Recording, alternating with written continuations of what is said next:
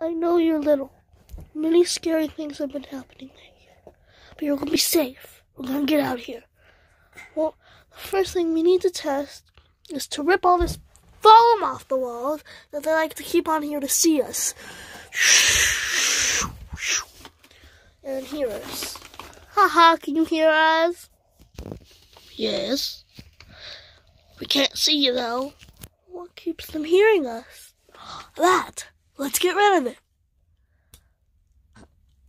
Oh, oops. Main camera again.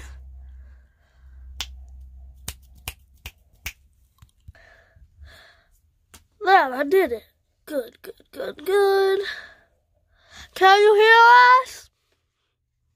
Yes, Giddy. We've done it. Now let's see if we can use your powers. Try teleporting.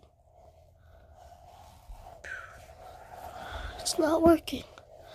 Maybe the door could be broken down. I mean, we got in here.